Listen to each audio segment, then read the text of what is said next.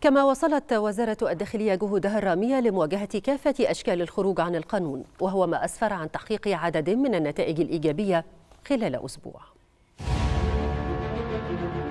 تتواصل جهود وزارة الداخلية على مستوى الجمهورية لمواجهة الجريمة بكافة صورها وعلى مدار أسبوع. نجحت أجهزة الوزارة في تحقيق نتائج متميزة في شتى مجالات العمل الأمنية.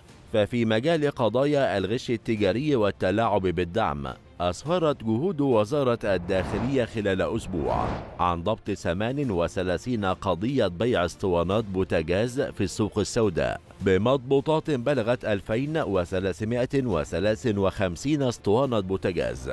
وضبط 22 قضية مواد بترولية بمضبوطات بلغت 446658 لتر مواد بترولية. تم تجميعها لبيعها في السوق السوداء إضافة إلى ضبط 1167 قضية سلع غذائية وتموينية مستندية وعينية. بمضبوطات وزنت قرابة 3540 طن سلع غذائية وتموينية متنوعة. وكذلك ضبط 5014 قضية مخالفة للمخابز. بمضبوطات بلغت أكثر من 121 طن دقيق بلدي كما تم ضبط أربع قضايا في مجال حجب السلع الاستراتيجية بمضبوطات بلغت قرابة 72 ونصف طن دقيق وحوالي 21 ونصف طن سلع غذائية متنوعة.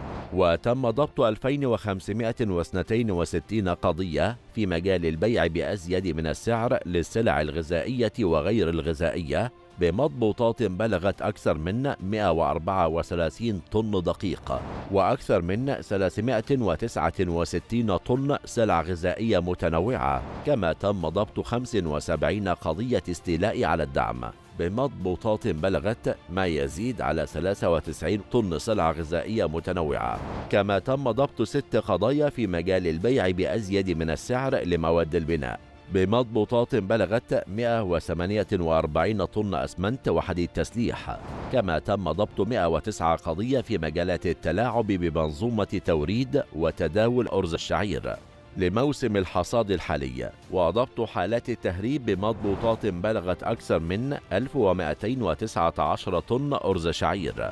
كما تم ضبط 236 قضية في مجال البيع بأزيد من السعر للسجائر. بمضبوطات بلغت 111207 عبوة سجائر. وفي مجال تحقيق الانضباط المروري في الشارع المصري ضبطت أجهزة وزارة الداخلية خلال أسبوع 641,071 مخالفة مرورية متنوعة من بينها. 228688 مخالفة تجاوز السرعة المقررة.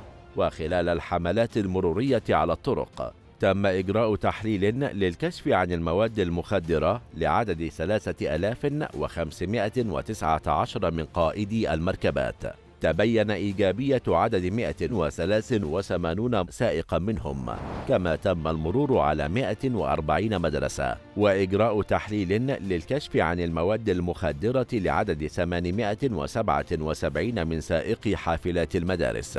تبين سلبية جميع الحالات كما تم فحص 781 مركبة. وتبين عدم مطابقة 22 مركبة لشروط الصلاحية الفنية.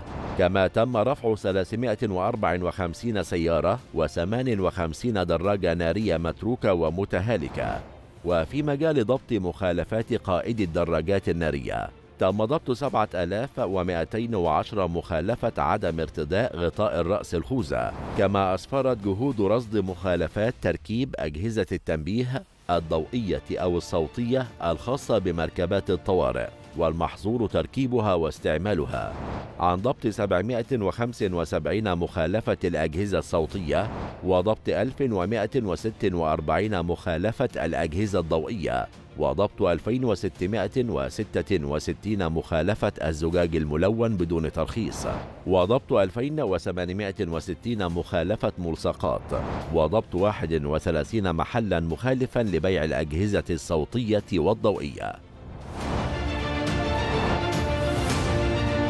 وفي مجال الأمن السياحي نجحت أجهزة وزارة الداخلية في ضبط 2779 قضية ومخالفة أبرزها حيازة الآثار والحفر والتنقيب عن الآثار ومخالفات الشركات السياحية.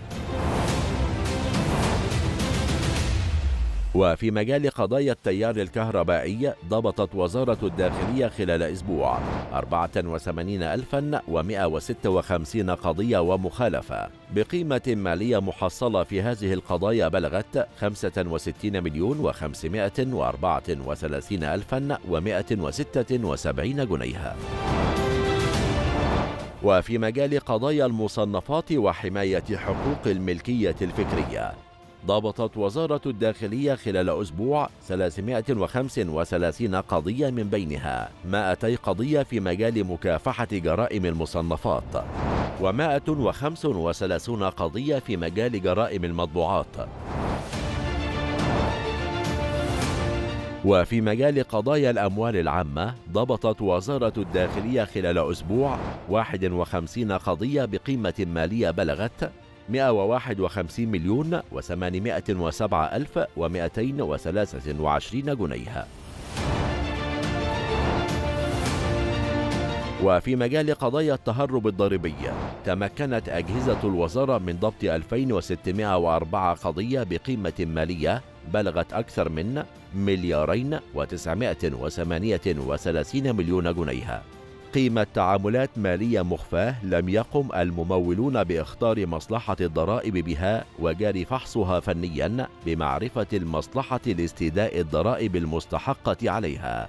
كما بلغت قيمة المبالغ المالية المسددة لصالح الخزانة العامة للدولة ثلاثة ملايين وأربعمائة وعشرين ألفا ومائة وخمسة وتسعين جنيها.